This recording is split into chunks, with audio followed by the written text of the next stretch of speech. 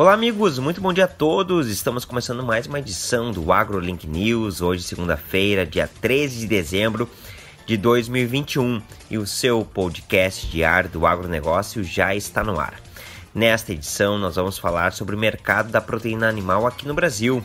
Vamos também falar sobre o combate a pragas na lavoura, trazer os destaques do portal AgroLink, trazer a previsão do tempo, os indicadores econômicos, tudo isso e muito mais. Acessando o agrolink.com.br, você vai saber que a exportação de soja em grão cresceu 80% em novembro.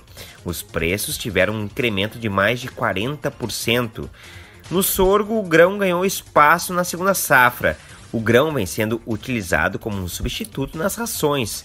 Já no Rio Grande do Sul, a colheita da safra do melão gaúcho ganhou celeridade. A fruta teve uma área de 770 hectares plantados no estado gaúcho.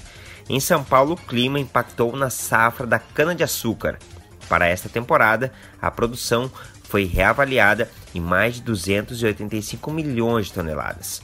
Esses são alguns dos destaques do nosso portal AgroLink nesta manhã de segunda-feira. E nós abrimos o programa de hoje falando sobre as exportações para a China.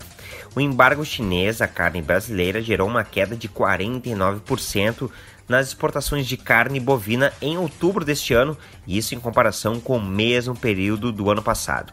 O bloqueio da China ao produto brasileiro já dura mais de dois meses e oficialmente foi motivado pelos casos de vaca louca detectados aqui no Brasil. Esta redução de vendas ao mercado externo acabou forçando a queda dos preços da arroba do boi gordo aqui dentro do país. O valor negociado dentro do Brasil está no menor patamar desde dezembro de 2020. Mais detalhes sobre este mercado você encontra lá em agrolink.com.br.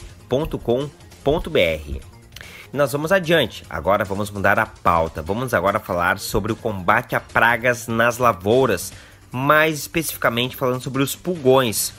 Essas pragas afetam diversas culturas, podendo causar até 30% de perdas por semana. E para entendermos melhor como a gente pode manejar melhor esta praga, eu converso agora com a diretora da JB Biotecnologia da Vitia, Bianca Nardi. Muito obrigado inicialmente por esse contato. Inicialmente, para começar, o que são os pulgões e as moscas brancas e como elas podem prejudicar as lavouras. Pulgões e moscas brancas são insetos sugadores de plantas. Essas pragas, elas podem causar danos na agricultura de duas formas, de forma direta e de forma indireta. A forma direta é quando ela suga a seiva da planta reduzindo a sua capacidade fotossintética e assim é, reduzindo a produtividade das culturas. E de forma indireta, que quando ela injeta o aparelho bucal para sugar a seiva, ela injeta uma toxina nas plantas, causando doenças. Uma doença é, que é muito importante na cultura do milho é o enfesamento que é causado pelas as cigarrinhas. Então, todos esses danos causam prejuízo para lavouras causado por essas pragas que já são bem conhecidas aí na agricultura. Sim, e quais são as culturas mais suscetíveis a estas pragas? As principais culturas afetadas pelas mosca branca e pelos pulgões são a soja, o milho, o algodão. É, e, de forma em geral, a, os hortifrutis, tá? tanto a batata quanto o tomate, são as principais culturas que são afetadas por essas pragas. E como funciona o combate dessas pragas através de inimigos naturais? O controle dessas pragas através de inimigos naturais inicia primeiramente pelo monitoramento.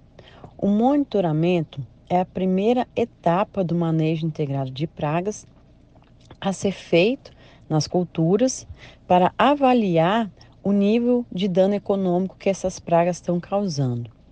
No caso, quando formos utilizarmos é, os agentes biológicos para o controle dessas pragas, nós temos que utilizar esses agentes biológicos, biológicos de forma preventiva, ou seja, antes que o, a praga né, está causando dano nas florestas. Por quê?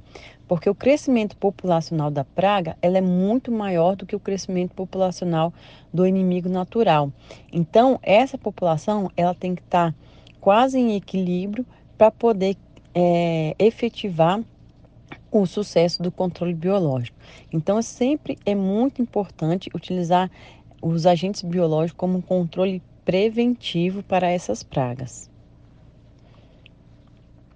No caso dos macrobiológicos, existem duas formas, é, dois tipos de insetos. Temos os parasitoides e os predadores. No caso da mosca branca e dos pulgões, nós estamos falando mais especificamente do predador Crisoperla externa, que ele é um predador extremamente voraz, que se alimenta, que suas larvas se alimentam tanto de ovos quanto ninfas ou adultos dessas pragas e assim conseguem reduzir a sua população. Sim, agora diretora, ao manipular o combate a esses inimigos naturais, o produtor não corre o risco de criar um novo problema? Quando utilizamos os agentes biológicos para combater, para controlar essas pragas, esses insetos não têm a menor possibilidade de criar um risco para o produtor. Isso porque a natureza ela é feita de um balanço, é, de um equilíbrio ecológico. Tecnicamente, a gente chama de estabilidade ecológica. E o que, que é isso? Isso é a cadeia alimentar que é formada pela natureza. Então, todo o inseto ele tem a sua presa.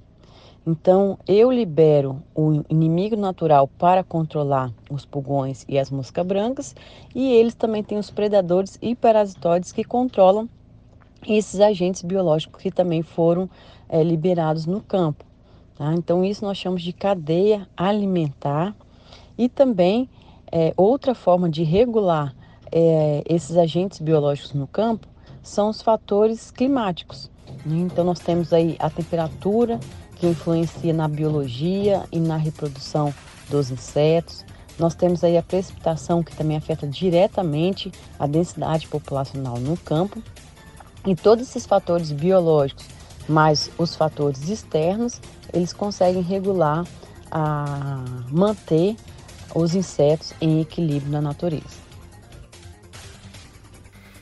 Muito obrigado pelas informações e agora vamos saber como fica o tempo aqui no AgroLink News direto do portal agrolink barra agrotempo. A previsão com ele, Gabriel Luan Rodrigues. Muito bom dia. Olá, Lucas. Muito bom dia. Bom dia para quem está no campo, para quem está na cidade. Bom, nós já estamos com um padrão de tempo muito característico de verão, que é basicamente o predomínio de chuvas na forma de pancadas isoladas, provocadas principalmente pelo forte calor e umidade no ar. E será este o padrão que podemos esperar neste começo de semana. E tem boa notícia para os produtores do Rio Grande do Sul, que nesta segunda-feira temos previsão de chuvas em boa parte do estado.